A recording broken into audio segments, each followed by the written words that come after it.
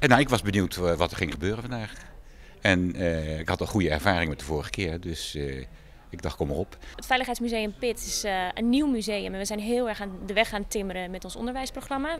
Uh, dus het is heel fijn voor ons dat er uh, bijeenkomsten zoals dit zijn om wat meer inhoud te geven, meer inspiratie op te doen, andere makers te ontmoeten. Het is ook wel zo, ik denk dat veel theatermakers, zijn wij dan, uh, best wel eenzaam zijn. Want je hebt feitelijk weinig contact met andere groepen en dat komt vaak door tijd. Voor mij is het belangrijk om uh, uh, hier te zijn om ook wat inspiratie te krijgen, mensen te leren kennen en te kijken ook of je in de goede lijn nog zit.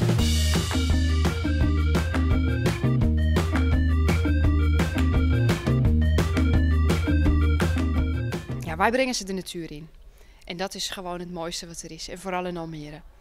Als uh, Lucas Clown binnenkomt, dan uh, beginnen mensen eigenlijk al uh, met zich open te stellen en, en, te lachen en zichzelf te zijn. En dat vind ik wel een hele goede start. Ik kom de school binnen als een buitenstaander die er even is. Dus ik mag gek doen en ik mag ook iets anders dan wat gebruikelijk is aanbieden. Als jij twee uur met mij bamboe bouwt, dan uh, heb je in ieder geval, uh, denk ik, meer ruimtelijk inzicht.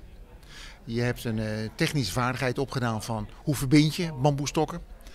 Um, en je hebt samen leren werken. Het belicht een ander aspect van het leven. Je gaat, leert door op een bepaalde manier naar kunst te kijken, op een andere manier te kijken naar eigenlijk alles om je heen. En dat krijg je niet bij alle andere standaardvakken mee.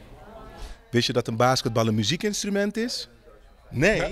Nou, natuurlijk wel. Je kunt ermee dribbelen, dan maak je ritmes mee.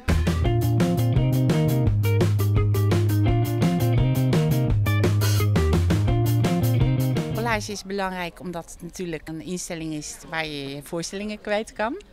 Maar ook een, een, een instelling die ja, heel breed meedenkt. Ze, ze kijken heel erg naar wat ze binnenhalen aan kwaliteit, maar ook aan de diversiteit. Ze denken ontzettend mee als je komt met een opmerking van. Uh, ja, we zou dit. Dan, dan, dan doen ze daar ook echt wat mee. Ik denk dat collage, die hebben persoonlijke adviseurs die ook bij de scholen langs gaan.